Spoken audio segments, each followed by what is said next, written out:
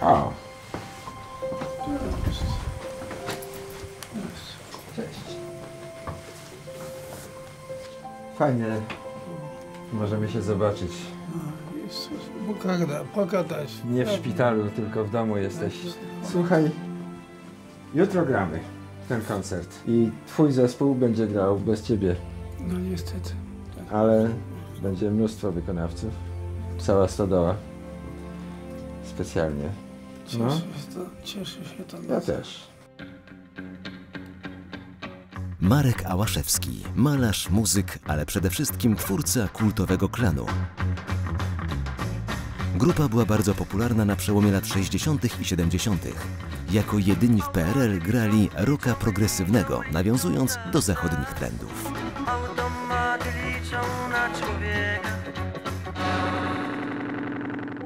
To było e, 15 maja. E, Tata z mamą byli na spacerze na Nowym Mieście. E, za- Zadzwoniła do mnie mama, że co- coś, coś się dzieje z tatą, że e, mm, stracił czucie w, w nodze. że- Żebym po nich przyjechał, zawiózł ich do szpitala. Po- Poleciłem, żeby zadzwoniła po karetkę jak najszybciej. No, y, później oczywiście za, za, za karetką pojechałem do, do, do szpitala. No, na, na miejscu dowiedziałem się, że, y, że jest to udar. Tata miał y, niedowład prawej strony ciała, już miał problemy z mową wtedy. Pierwszą dobę był obserwowany, nie, nie wiadomo było ja- jak to dalej się rozwinie. No, no, okazało się ni niestety, że, że potrzebna jest operacja. Wiesz co mówili, że, że zachorował najzdrowszy człowiek spośród nas, bo zawsze byłeś we wspaniałej kondycji, świetnie wysportowany gimnastyk, sprawny fizycznie I nagle. i nagle cios. Obraz Marka Chorego to nie jest to, to nie jest ten człowiek, którego ja znam. Nie pił, nie palił, zawsze wszystko było dobrze, bardzo silny, bardzo sprawny fizycznie. E, Bardzo ciężko było mi zdecydować się, żeby pójść odwiedzić go w szpitalu, kiedy okazało się, że Marek nie może mówić. Marek nie może sam przewrócić się na drugi bok na łóżku. Nie może pójść do toalety. Nie może wstać, nie może pójść na spacer, nie może nic. Teraz ja mam takie życzenie, żeby po prostu Marek mógł zrobić to, co większość z nas. Ale byłem e, w Lesie Kabackim ostatnio. A może pójdziemy kiedyś jeszcze. Był w szpitalu przez 4 miesiące mm, na oddziale rehabi- rehabilitacji. Później na miesiąc trafił jeszcze do, do Konstancina, też do ośrodka rehabilitacyjnego. Czyli do, do domu trafił po 5 miesiącach dopiero. Yy,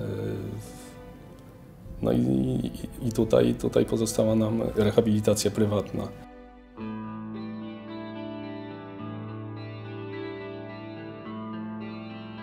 Poznaliśmy się, a w zasadzie poznał nas ze sobą Józek Skrzek.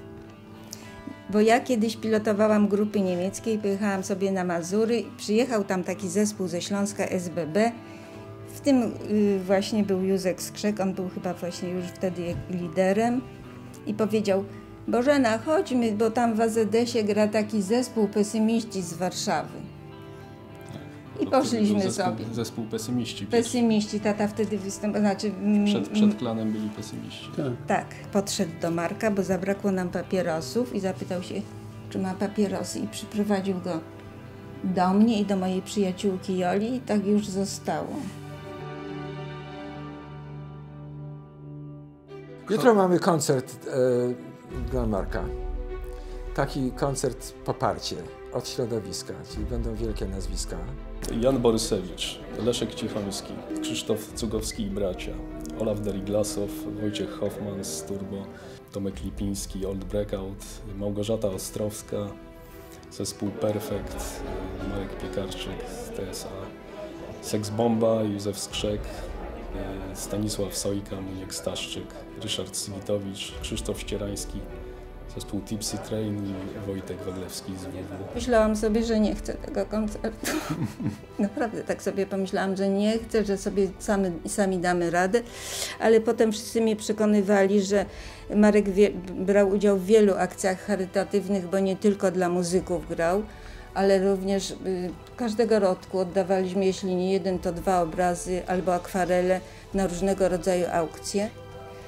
No i w końcu się zgodziłam.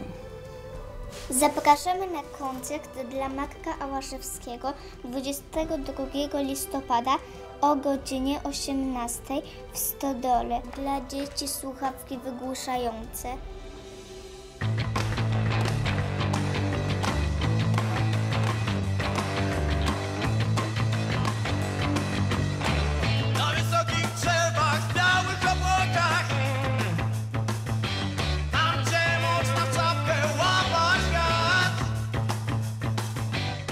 Nerwy są oczywiście, ale, ale um, umiarkowane, takie zdrowe, zdrowe poddenerwowanie, raczej, raczej mobilizacja niż nerwy.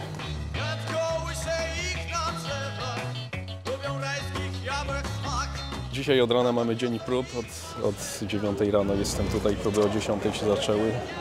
Cały czas muzycy się przewijają przez scenę. No i dzieje się, krótko rzecz biorąc.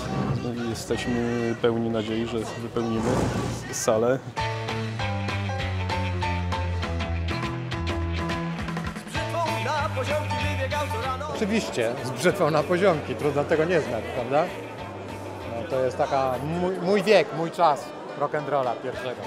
No chyba młodość, miłość, dziewczyny pierwsze, to wszystko się kojarzyło i chyba bardzo dobra muzyka. No to jest to koncert charytatywny, więc zawsze dobrze wziąć udział w czymś takim, a dwa, wydaje mi się, że będzie bardzo dobra muzyka.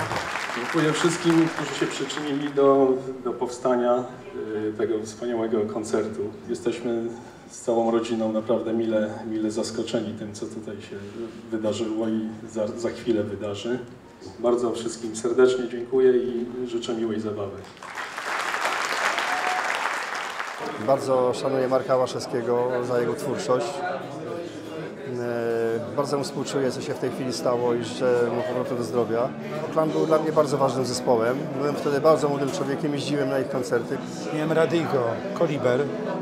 Słuchałem sobie audycji popołudniowej jakiejś tam. I leciały automaty, automaty z brzytwą na poziomki. Nie poszedłem na warsztaty, a robiliśmy młotek. I z tej szkoły mnie również wyrzucili. No potem oczywiście y, rock opera y, Mrowisko. Byłem na tym w Lublinie, kiedy grali. Szkoda tylko, że tak krótko trwało. To jest album wydany w 70 roku przez grupę Klan Mrowisko. Kiedyś ten album robił furorę. Oczywiście to jest płyta, która była nagrana po spektaklu pod tym samym tytułem. Już nie śpiewał o biedroneczkach, już o automatach, o mrówkach i za to został ukarany. Że porównywał Marek Kałaszewski i autor tekstów Marek Skolarski Polaków do mrówek, które pracują w mrowisku. Ale przecież w socjalizmie nie jest tak źle. W socjalizmie są indywidualności. Projekt do tej okładki robił również Marek. W zasadzie wtedy zaczął malować.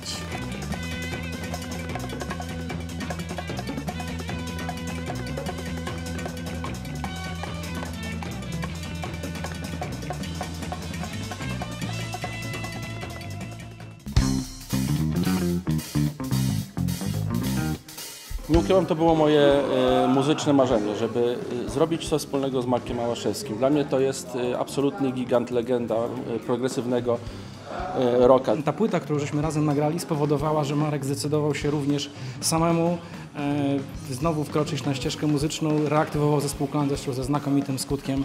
Szkoda, że tak się stało, jak się stało.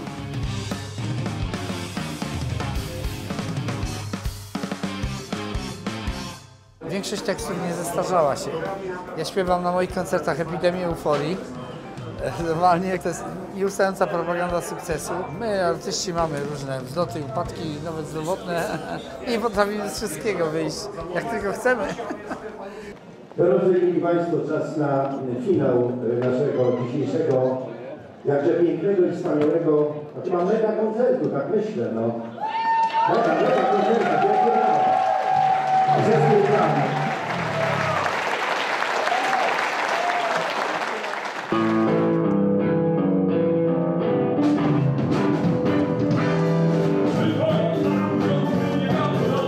Sam są plakaty, które wszyscy artyści, którzy byli, e, złożyli swoje autografy. E, I teraz e, plakat pójdzie jeden na aukcję, jeden pójdzie dla Marka w prezencie. Natomiast następne poczekamy, zobaczymy co się wydarzy. Czy będą potrzebne jeszcze pieniążki, a jak nie to pójdzie do historii klanu. Było ciężko, ale było wspaniale. Chłopak, jak się robi taki duży koncert, tyle gwiazd? Najważniejsze jest to, że nikt nie odmawia. To jest najważniejsze. Zmobilizować taką grupę ludzi, także naprawdę wszyscy się spisali przecudownie. Dla mnie jest to no, re- rewelacyjne, to, co, to co się tu wydarzyło. Było naprawdę świetnie, pełen, pełen power, energia.